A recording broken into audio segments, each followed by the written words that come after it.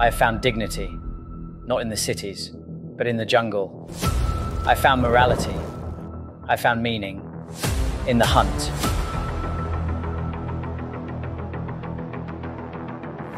No other creature has this combination of speed, agility, and strength. I have to hunt him. Well, let me tell you something. Who the hell this guy? He wants to seize your bloodweb head. I'm Kraven the Hunter. And we are Venom. What happened to you?